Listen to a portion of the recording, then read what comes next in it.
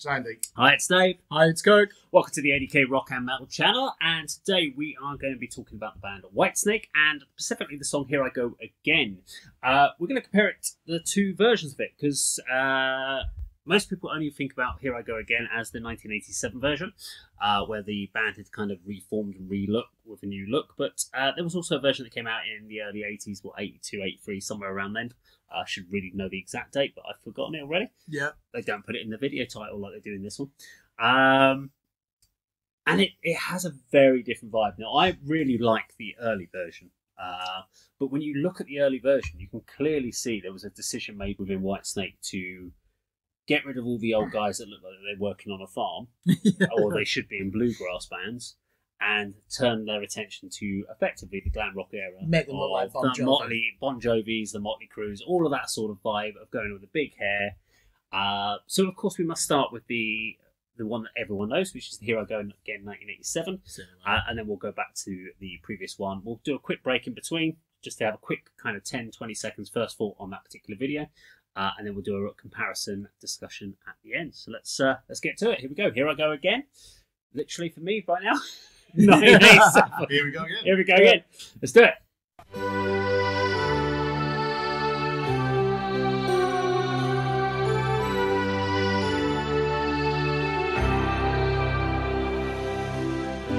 I don't know where I'm going, but I sure know where I've been. Hanging on the promises and songs of yesterday,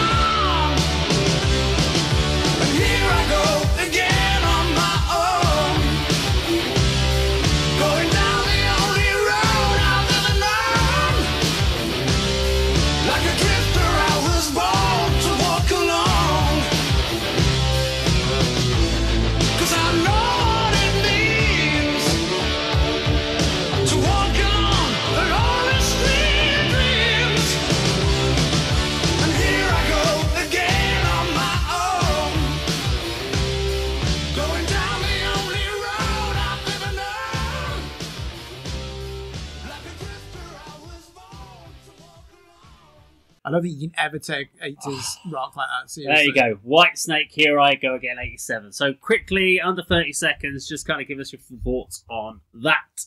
Andy. I've seen it probably more times than I should have done in various guises on, Yeah. on the music channels forever. But uh, we everyone knows this song, even you know if you're a you know extreme metal fan or a, a Mm. pop fan, it's one it's one of those. But just I mean, you mentioned a moment ago, Dave, rewatch value. I mean, there's so many cliches. You could you know you, you can make you could pick out some of your favourite bits and, and sort of discuss them, which I'm sure we will right at the end. But uh, it's, it's classic for the time, isn't it? It's, it's, it's 80s power metal, power rock, power ballads, extra- extravagant, flamboyant, very entertaining. See, uh, what I love about not just this song, it's, as you said, it's a classic song, but watching videos from the 80s, it was the time when the 80s, the videos were where people were just going fucking nuts on it. Your MTV2, this is the time, before the other video channels, Oh, you didn't have then. MTV2 in the 80s. or MTV then. That's just one of So them, yeah. MTV. But before this, before the 80s, there really wasn't, all you had was your top of the pops, and sometimes you had a live performance. You might get a video, but usually it was some sort of performance bit. Half the time, you just had to, they brought out a load of women to dance while your music was playing. And that was your entire way of getting it out to a TV audience. Now, in the 80s, you've got music videos. And what I love about looking back at them, they are of their time. But they're so much more interesting than modern music videos. In a lot, where the performance videos from the 80s are so much more fun than the performance videos now. Everyone's too serious. We, we've all watched this now. Look at the size of the stage they were on as well, you know. But we're all smiling. Yeah. We're all, we've all, there was some funny as shit things in there. But I still love it. I absolutely love it. But Kirk? It is so spinal tap, isn't it? When you look back, and it just shows you the genius of that mockumentary Yeah. and how and um, that was unintentional. I think there are moments of humor in there, even in 1987. But yeah, as you said, cliche after cliche, and it, it, it does offer even more entertainment value, doesn't it? Just think, can you believe that from that, four years later, Nirvana Nevermind knocks Michael Jackson off the top of the charts? The gap is only four years, and you would think they're on different planets. The, the music, wouldn't you? Where Well, that, that space between 87 and 89, the musical landscape changed. If you think about bands like we talked about Sepultura Yeah, uh, and what was going on in 87, so you've got things like schizophrenia. By the time we get to 89, we're talking about Arise is coming through, that sort of period. obituary. I mean, I, I always mention. Obituary. I always mention it. You know which album changes it? The real thing, Faith No More. This this is a year after Master of Puppets. yeah. I mean, I don't put come on. I don't put this in the same genre. No, This is but yeah. This just gives you. But Yeah. even- they weren't even doing videos at the time, so it's a No. big, big difference. Right, we're going to go check out the one that just says "Here I Go Again." Uh, let me bring this one up, and we will check it out.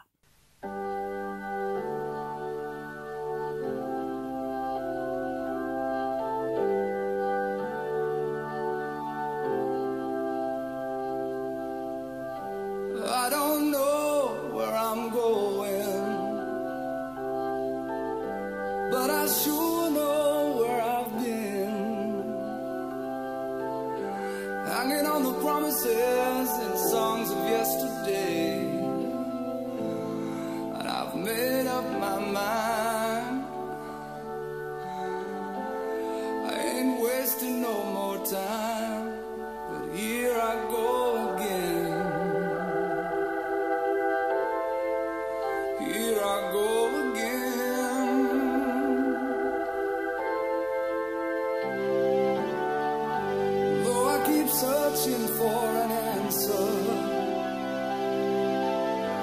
Never seem to find what I'm looking for.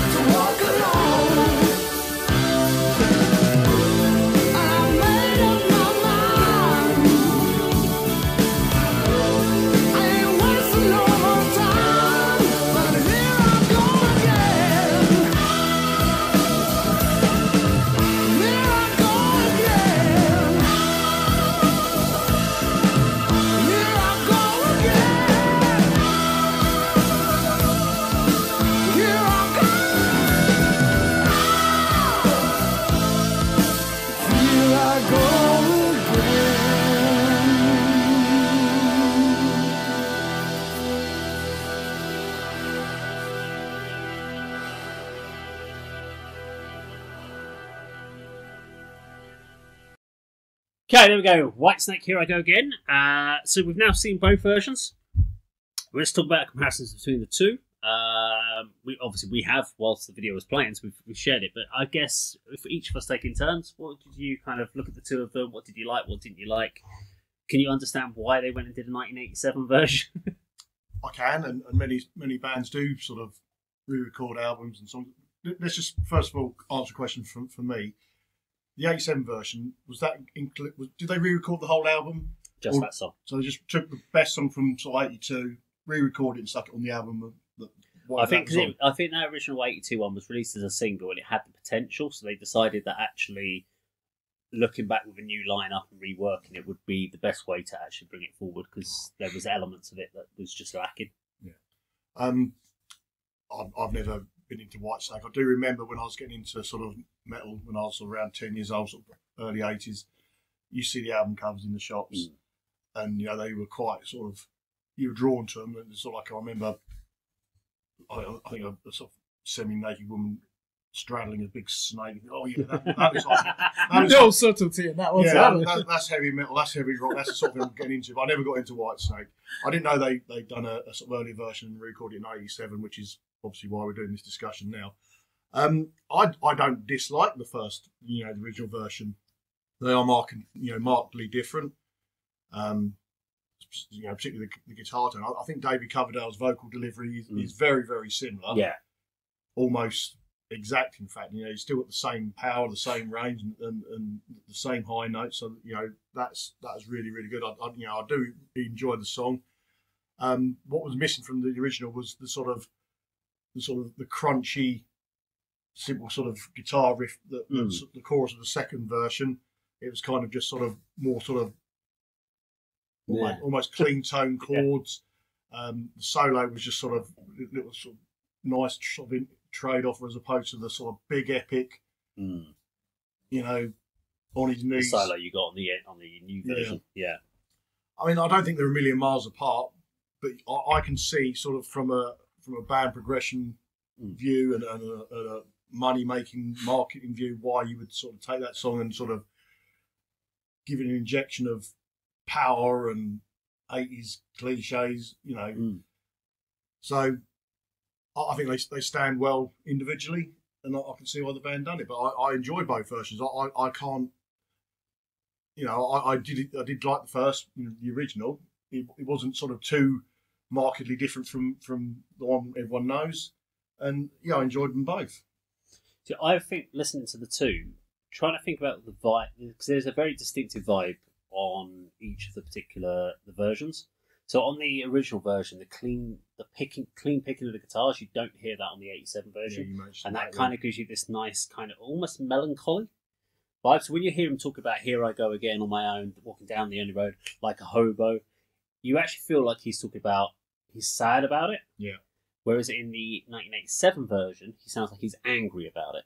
It's like walking down the only. He's like more powerful. Yeah. So the vibe changes from being sad and going on a journey and feeling melancholy about it to being angry and being I'm gonna kick your ass this time. Sort of, they, they, they almost changed the vibe by the, the feel of the song.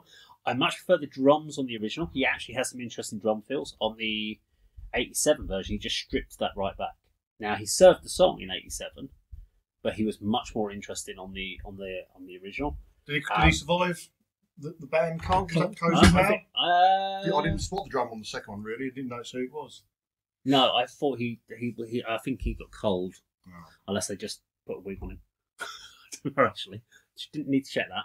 Uh, solo I thought was awful on the first one. There was no point to it. It didn't really do anything. Even even bluesy bar rock solos are, are, are generally better than that. Uh, I love the oohs and ahs and the backing vocals. I thought that was great on the first. I felt that was really missing in the uh, second one, uh, in the '87 version. So, but I love the power that came out in the second. So there, there's elements I'd almost want to Frankenstein between the two to give you an overall version of it. Um, and also it was slower on the first one, but it just felt more.